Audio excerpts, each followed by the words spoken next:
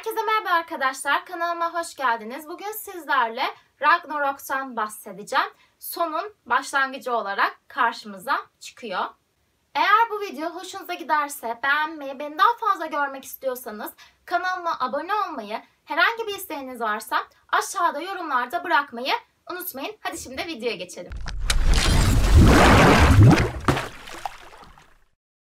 Ragnarok kelime anlamıyla Ragna tanrıların düzenleyicisi, Rok ise kader, kıyamet anlamına gelir. Böylelikle Ragnarok kelimesi tanrıların kıyameti olarak karşımıza çıkar.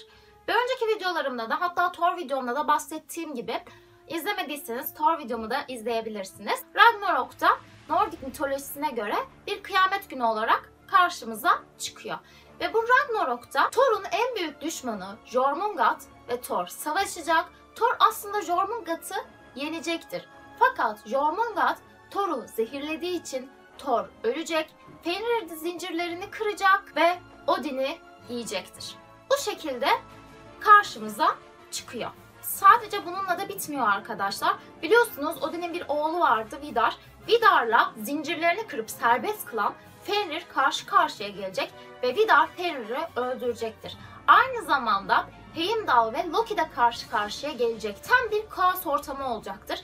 Ve bu kaos ortamında dünya alevler içerisinde kalacak, kainat sular altına gömülecek ve bundan da tekrar yeniden canlılar, bitkiler ortaya çıkacaktır bu kaostan sonra. Biliyorsunuz bir de Baldar vardı.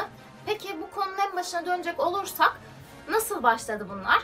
Baldar, Odin ve Frigg'in oğludur. Aslında kendisi çok fazla bir gücü yoktur ama insanlar ve tanrılar tarafından çok sevilir. Kendisi ışığın, mutluluğun, saflığın, temizliğin ve barışın simgesi olarak karşımıza çıkmaktadır.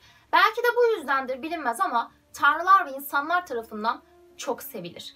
Ama gücü çok da azdır yani çok fazla da gücü yoktur. Bir Thor kadar ya da bir başkası kadar güçlü bir tanrı değildir. Ama buna rağmen çok yakışıklı ve çok akıllı bir tanrıdır. Bir gün Baldar kendini rahatsız eden bir rüya görür. Kendisine bir şeyin zarar vereceğini düşünür bu rüyadan sonra. Bu gördüğü rüyayı Aeserlere anlatır ve annesi Frigg de bunun üzerine ateşe, suya, toprağa, dünyada bulunan bütün canlılara kendi oğlu Baldar'ı zarar vermemesi için yemin ettirir. Ama söylediğim gibi bir tane bir şey vardı ki ona yemin ettirmeyi unutur. Daha sonra Aesirler Baldar'ı yanına alırlar ve aslında yeminden dolayı Baldar'a hiçbir şeyin zarar veremeyeceğinden dolayı ona taş, sopa, ok atarak hepsi birlikte eğlenmeye başlarlar. Ama kurnaz olan Loki araştırmaya başlar. Kendisi bir kötülük peşindedir. Kılık değiştirir ve bunların arasına girer. Bir tek şeyin yemin etmediğini bulur.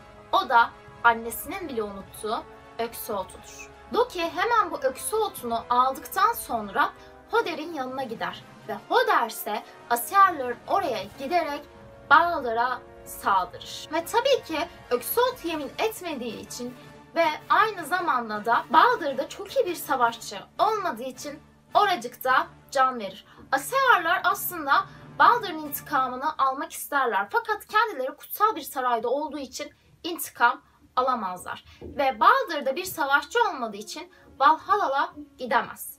O aslında ölülerin koruyucusu olan yere yani Hel'e gidecektir. Odin kendi oğlunun serbest kalması için Hel'in yanına gider ve oğlunu serbest bırakmasını ister Hel'den. Fakat Hel'in tek bir şartı vardır. Bu şart ise dünyada ölü ve canlı olan her şey Baldur için gözyaşı dökerse onu serbest bırakacaktır.